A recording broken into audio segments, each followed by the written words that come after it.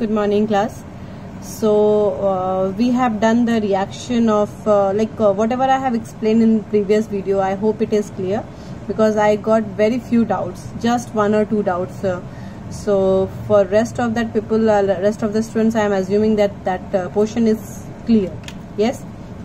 Okay so today we are going to start with the react uh, with the heading that reaction of metal with salt of other metals solution okay salt solution of other metal so how it will react? For this there is an activity given in your uh, NCERT and that activity is 3.12 okay so that activity again as I told you that you are not supposed to write the activity as a whole no need to write just write the summary. What we have done uh, like the points the uh, result you can write. Okay so in this let me uh, explain this uh, this uh, activity then we will write I will write the summary.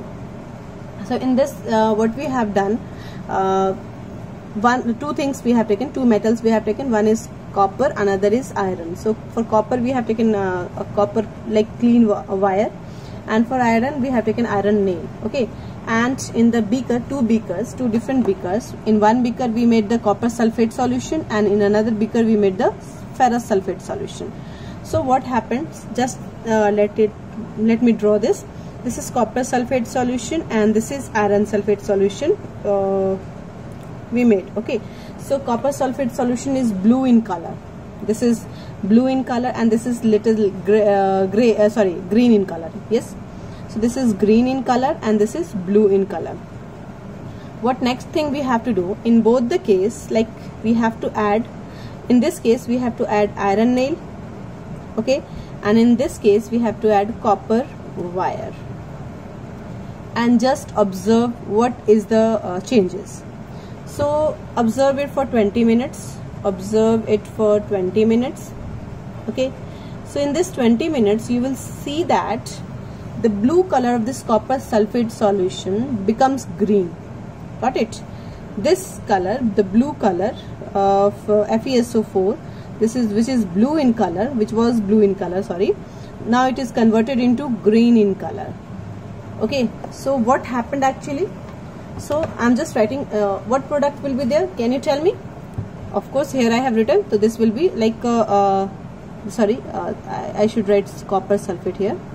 Okay and afterward it becomes green so that means FeSO4 how it happens? Let me write the reaction. That reaction we have already done in uh, chapter 1 also so what happened in this case? First case if i'm adding fe in copper sulfate solution okay? First case this is and second case in th this one. I'm adding copper wire in the ferrous sulfate solution. So can you tell me what will be the result? In this case it will form FeSO4 and copper while in this case there will be no reaction isn't it?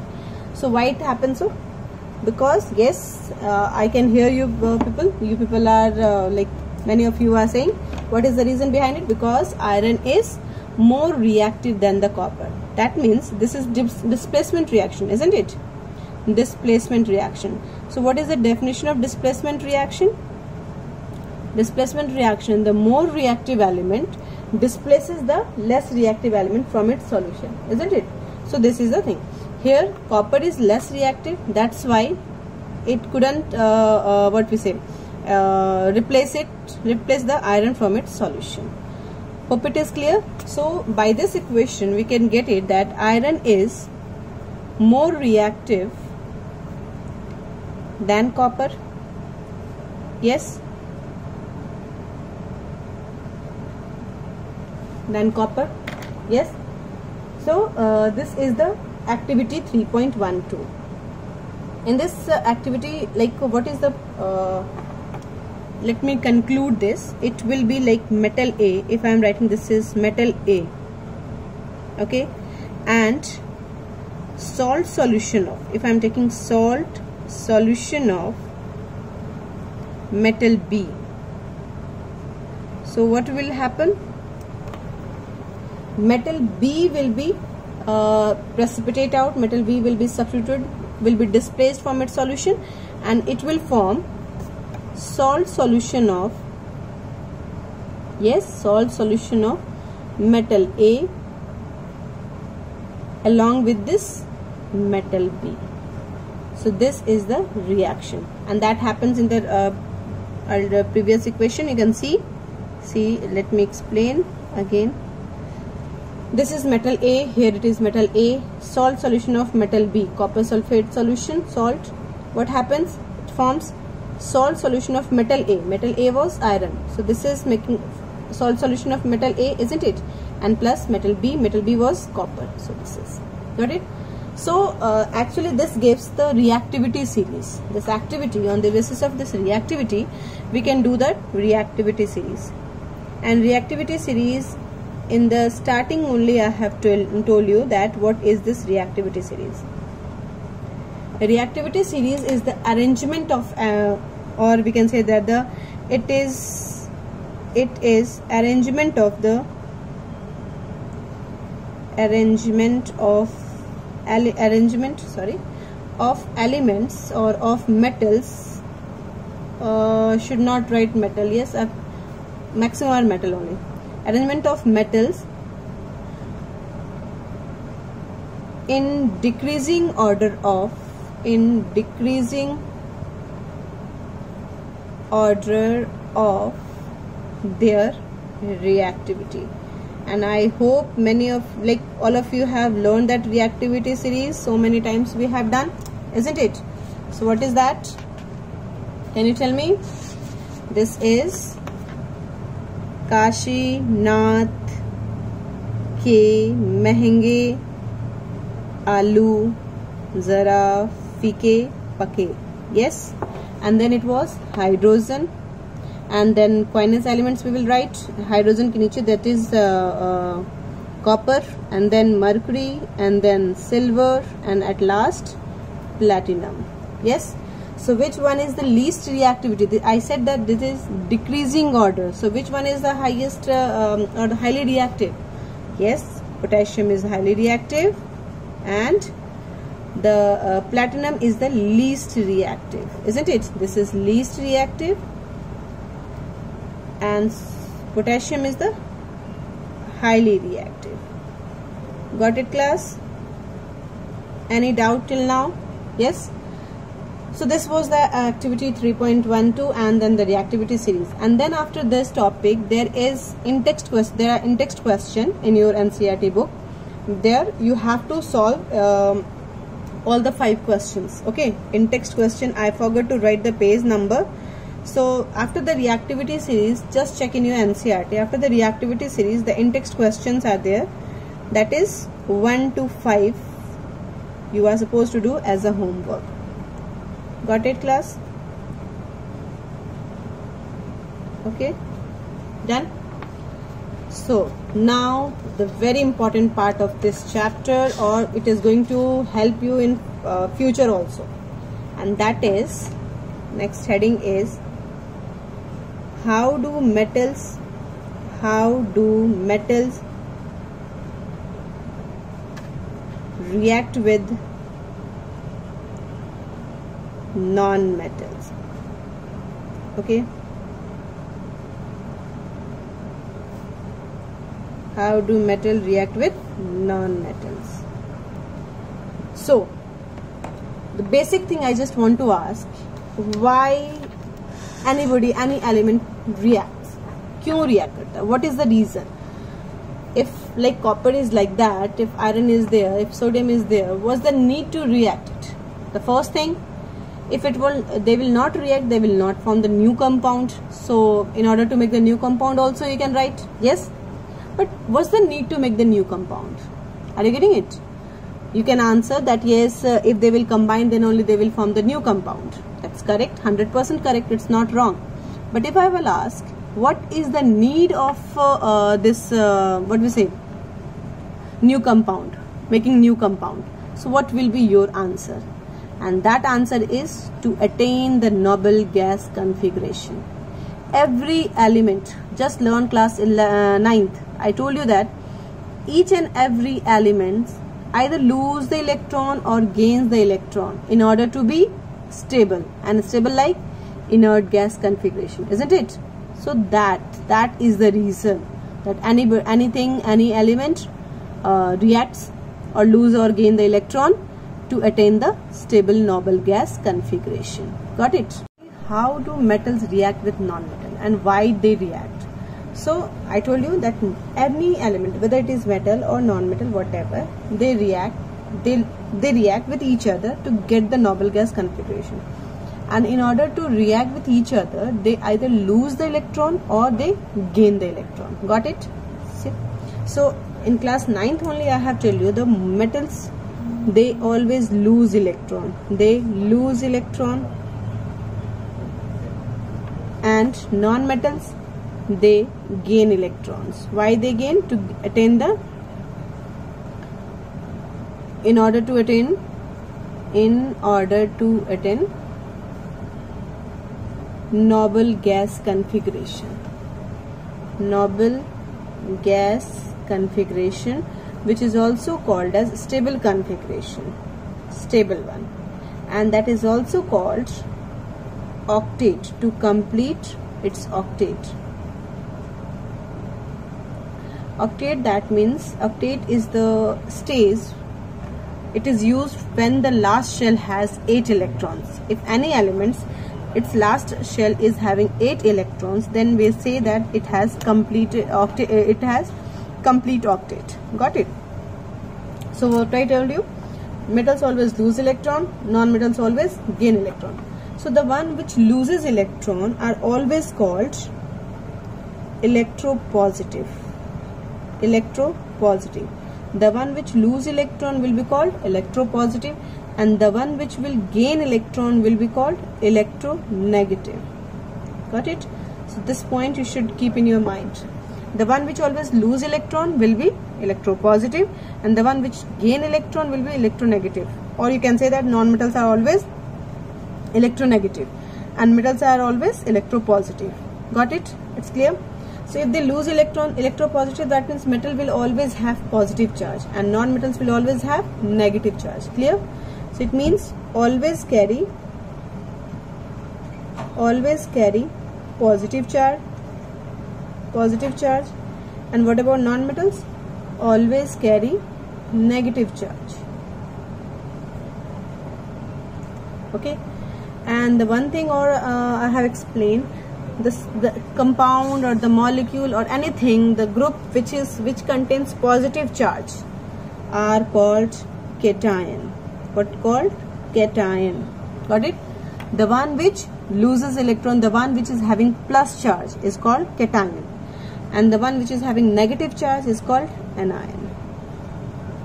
Got it? I hope this point is clear. Yes? So now next thing we will understand that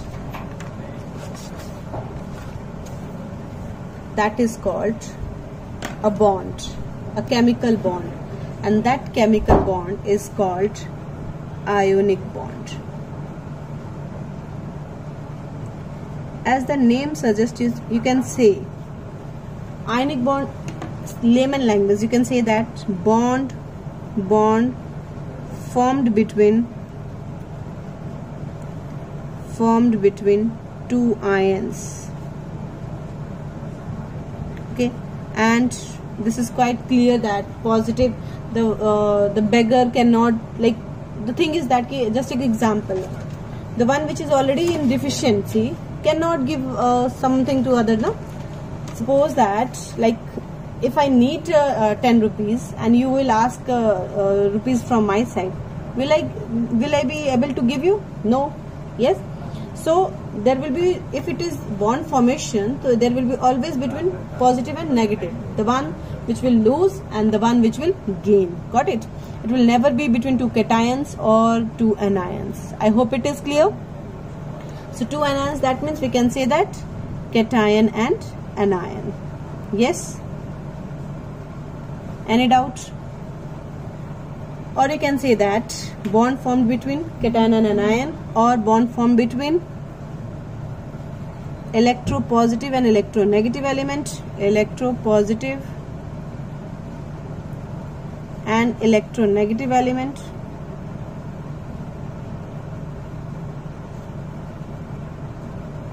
or you can say that bond formed between cation and anion uh, that I have written okay metals and non-metals. Metal and non-metal. Yes? I think there should be no uh, confusion no doubt. Yes? Done? So this is called ionic bond. Now ionic bond how it will form. So let's see that how it will form. Okay so formation give the heading formation of ionic bond. We'll do that practice. Because there are the three types of bond. One is called ionic bond another is called covalent bond and third one will is called coordinate bond. Ionic bond right now we are doing.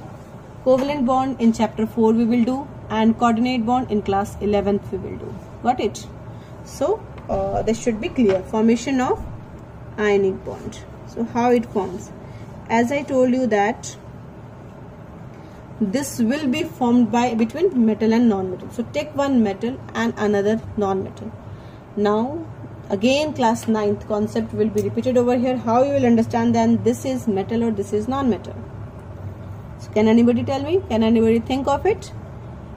Metal which will uh, in order to gain the stability like in inert gas if any element loses electron it will consider as metal. And if any element gains electron it will be considered as non-metal. Okay? So let's do one example. Suppose that i'm i'm saying ki what type of bond will form between na and chlorine. So what you have to do? First thing you have to write the electronic configuration for both. So this is if uh, i'm writing the configuration here so this will be 281 yes?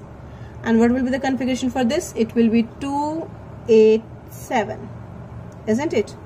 First thing. Second thing what we will write we will show its valence electron. Valence electron class 9th we have done. The electron present in the last shell. So what is the electron present in the last shell? This is one. So make it like a star or dot you can make it. Okay? And how many valence electron present over here? This is seven. So 1 2 3 4 5 6 7 got it this uh, the way to show the electron on the elements the way to show the valence electron on the element is called Lewis dot structure. Got it? What it is called? Lewis dot structure. Okay? Lewis dot structure. Clear? So now what uh, in that previous one if I will check there. It is written here that in order to attain the noble gas configuration or to complete its octet that means the last shell must have 8 electron. And to make the electron 8 in its last shell the element will do anything. Will either lose or will gain. Yes? Filhal uh, either lose or gain. In chapter 4 we will do something extra. Okay? So if sodium loses it's one electron अगर ये एक electron को lose कर देता है then it will have eight electrons in the outermost isn't it and this one electron if it gains so this will also have two 8 and 8 isn't it clear so both will have uh, 8 8 electrons in its last shell whatever the last shell it doesn't matter that second shell should be 8 electron or third shell 8 electrons should be there either in second shell or third shell okay clear so if sodium loses one electron it loses one electron and chlorine will gain one electron. So what charge it will have? Since sodium is losing one electron so it will have plus. Now will not make this electron. Got it? Will not show. And chlorine is gaining that electron so this is minus. Not show that charge if you want to show the transfer of electron what it will do the sodium will completely transfer its electron to this chlorine. Because it doesn't need. Got it? The sodium if it lose this electron it will be stable. So that's why what it will do it will lose its one electron and that to chlorine. Clear? So since sodium has lost electrons so this is Na plus and chlorine has gained electrons so this is Cl minus the force of attraction whatever the force of attraction is present between these ions will not make one single bond or two single bond. This is like force of attraction i'm showing. This is called force of attraction okay? So this force of attraction is called ionic bond. This is called ionic bond. And the compound will be this is 1 plus 1 plus 1 minus so total will be NaCl and this is called ionic compound. Any doubt in this? Okay let's do another example. And few example I will give you to do okay? So next example this was this was the first example. Second example if I am taking Mg and oxygen.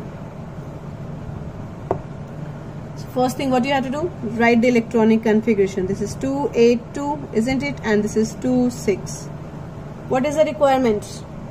If this magnesium lose, uh, loses 2 electron it will gain the octet and this 2 electron if oxygen gains then it will also have 8 electrons isn't it?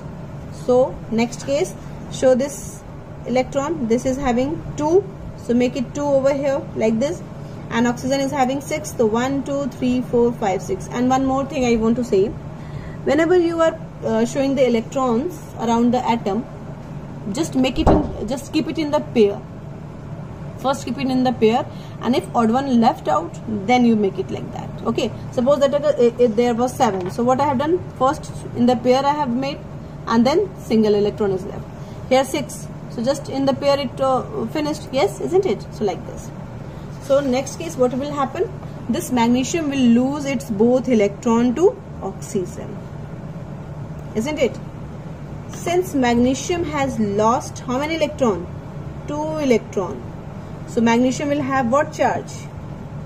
Mg 2 plus. Got it? Because for one electron it is 1 plus, for two electrons it is 2 plus, isn't it? You can write this way or you can write in this way also. There is no issue in that. Okay? Okay. And this oxygen is what it is doing. It is gaining 2 electrons. So since oxygen is gaining, so you will write O minus 2 or you can write O2 minus. Anyway, you can write. There is no problem at all. Got it? Now what will happen? This is 2 and this is also 2. So it will cancel each other and the force of attraction, whatever the force of attraction present over here, that will be called, this force of attraction is called what? Ionic bond. And what will be the compound? Ionic compound will be since both are 2 2 so they will nullify each other and it will be MgO isn't it clear? Let's do one more example. I hope uh, all are clear. If it is not clear just uh, pause the video do it again check it again watch it again and try to practice it and then watch the video again to check whether you have whatever you have done that is correct or not. Still if there is any doubt i'm always uh, uh, like you can approach me anytime by the masses okay? Just give me masses i will uh, like connect you. Okay so next example. Suppose that uh, uh, this um, sodium and oxygen. Let it be sodium and oxygen so sodium has configuration 281 and oxygen has configuration 26 so in this case, sodium will lose one electron, it will gain octet, isn't it? But oxygen needs two. And here the sodium can give only one. If it will lose one electron, it will gain octet. But oxygen का काम नहीं चलेगा. Oxygen needs two. But here the sodium is only one. So what it will do? It will say You just call another friend of yours please oxygen कहेगा कि तुम अब एक और फ्रेंड को बुला के लेके आओ। तो एक और सोडियम आ जाएगा। And this is again two eight one so this this sodium and this sodium both will lose one one electron and here it will like oxygen will get two electron to get the octet so next case में what will happen we will show the electron this is sodium one this is sodium one and oxygen is 6 so make it like 6 isn't it now both the sodium will lose one one electron so this is one electron from this and one electron from this isn't it so what happened? There are two Na. Don't write C. If you write Na plus 2 or 2 plus, it will be wrong. Completely wrong. Got it? Don't write. Because sodium has lost only one electron, not two. it means that sodium has lost two electron. Clear dear? So what we will write? We will write that 2 sodium this 2 should be here. 2 sodium has lost one electron. 1 sodium 1 electron 2 sodium 2 electron. Got it? Or you can write in this way Na plus and how many it is? 2 so make it 2 over here.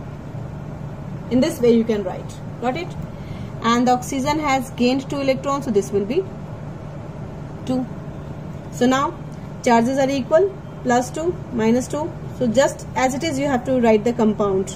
The force of attraction is between in between this. Is called ionic bond. And what will be the compound? Here eh, Na2 so write it Na2 and one oxygen so. Any doubt in this? Yes this is the way. Hope it is clear so now uh, next example you can do uh, by your own. And that I'm giving you example. Suppose that you can do this ALN A, uh, AL N sorry AL and N you make the compound with AL and N you make the compound with Al and oxygen sodium and nitrogen magnesium and chlorine. These are the four uh, example that you are supposed to make this okay? Just make the compound as I have done.